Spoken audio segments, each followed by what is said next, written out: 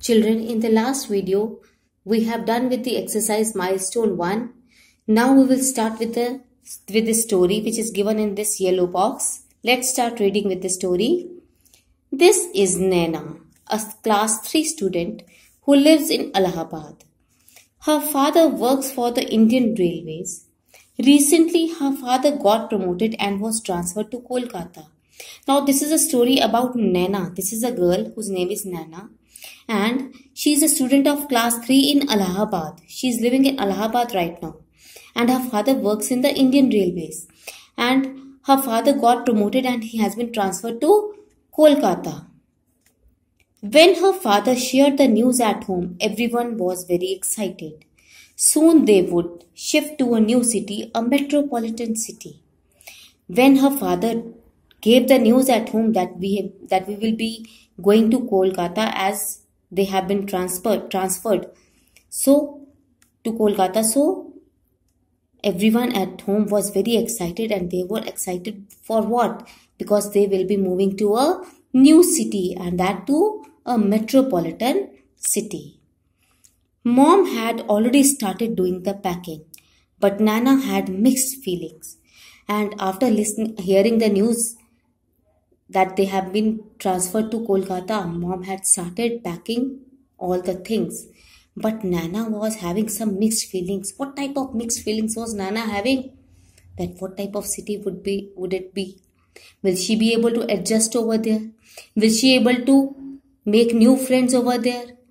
When she will join a new skill school over there, will she be able to make new friends over there? Would would they like her or will they like her? She would have to leave her old school and friends. How would her new school be? Would it be easy for her to make friends again? Now, why she was having mixed feelings? Because she was going to leave her old school and her old friends also. And now she was thinking that I don't know what kind of school she will be able to go in that city, in that, in Kolkata. Would will she be able to make new friends over there? Will they like her or not? So these type of feeling feelings were going on in her mind. Let us talk. Why do you think Naina was having mixed feelings? Nina was having Naina was having mixed feelings because she was just thinking that whether she will be able to make new friends over there or not and moreover she was going to leave her old school and friends. So for that she was feeling very sad. So that's why she was having mixed feelings. How should Naina face this change? Should Naina face this change with ha- happily or not? Yes of course. She should face this change happily. If you were in Naina's place how would you feel Obviously, if you were in Naina's place, you will feel excited. You will feel happy that you are going to a new place. You will observe new th- things over there. So, obviously, you will feel excited. Is there anyone in your class or school who has come from a different city?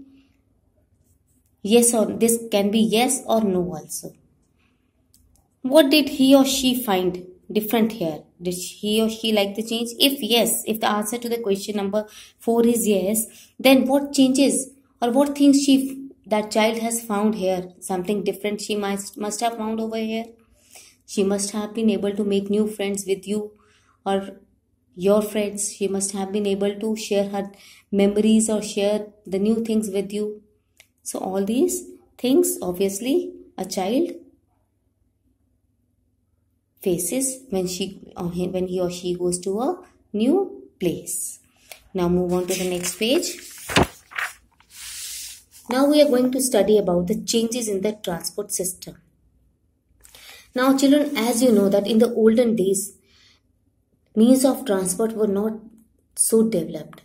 When people have to move from one place to another place, usually they used to go by foot or they used to go by bullock cart or tonga.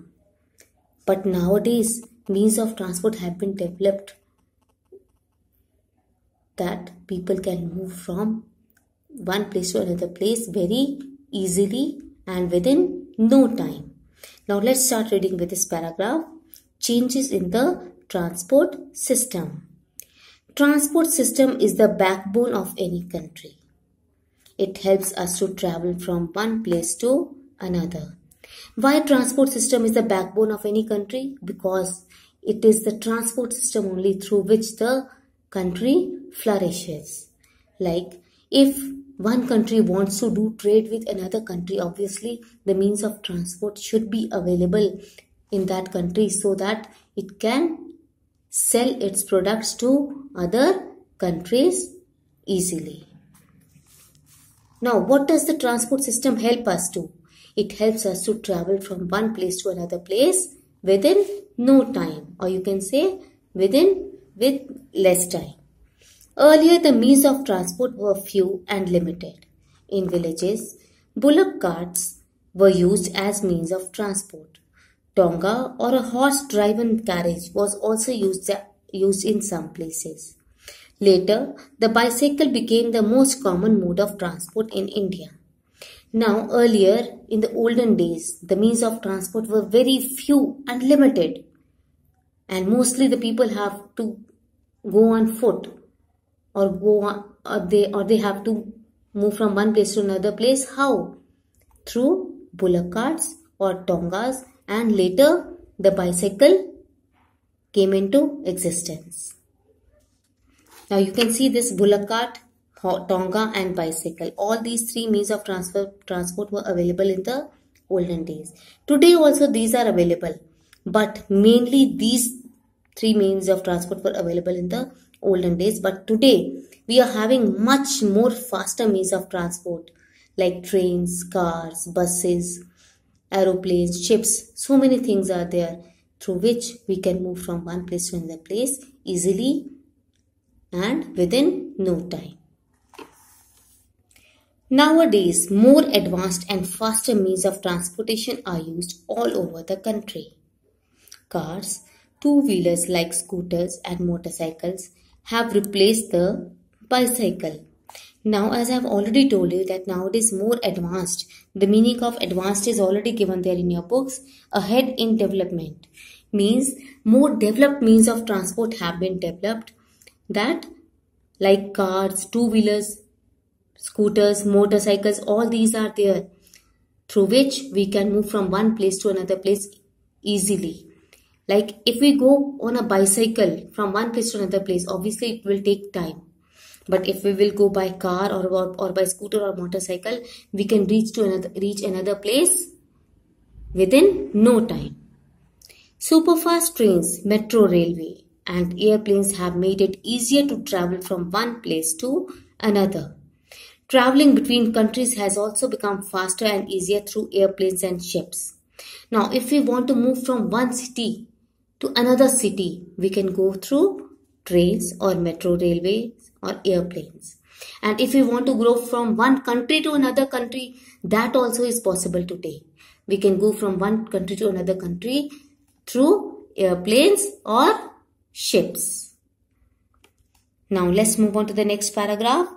Changes in the society gender equality. Before we read this with this paragraph, I want to explain you what is the meaning of gender equality. Children, you know that in the olden days, people used to create a huge difference between the girls and the boys. Boys were preferred superior as compared to the girls. People in the olden days used to think that girls are only meant to do the household work. They need not go to schools to study because they ultimately they have to settle down in their life and they have to run the house. But nowadays this is not so. Nowadays girls and boys are treated equally. Now let's read Gender equality means treating both boys and girls as equal. This is a big change taking place in our society. Like as I've already told you that in the olden days people used to treat boys with love and care as compared to the girls. Why? Because they used to think that the girls are simply meant to handle the household work. They can't do any other work. They are not capable of doing any other work. So, they used to treat boys with more love and care. They used to send boys to school for education and everything was done to take care of the boys. But nowadays, this is not so. Nowadays, girls are treated equally with the boys. This is the huge change which have taken place in our society. In olden days, girls and women were expected to stay at home, not receive education and look after the children. Like in the olden days, as I told you, girls and women were only told to do the household work and to do to look after their children. Today, girls play a, a role as important as boys. They receive education and make a career of their own. The meaning of career is already given in their book. A job or profession that someone does for a long time. Nowadays, the girls are going to school to study, and after completing their education, they obviously opt for an opt for a job or a career which they want to do. And in this way, they are equally competing with the boys. Women also participate in various sports and make our country proud. Now you can see children in most of the games and sports which are like Olympiads which are held the world over. The ladies, the women are equally participating in all those sports and competing with the boys and they also make our country feel proud when they participate in all these games. With the changing times, women have proved successful in various fields like science, business, politics, sports, education, etc. And with the change of time, women have proved that they are not less than the boys and they have proved themselves successful in various fields like some like some girls have become scientists some girls have opened their own business some girls some ladies are politicians some girls uh, or ladies have participated in the sports or they some have excelled in the education stream also. So nowadays women are not less than the boys. They are treated equally with the boys. So now this paragraph i will teach you in the next video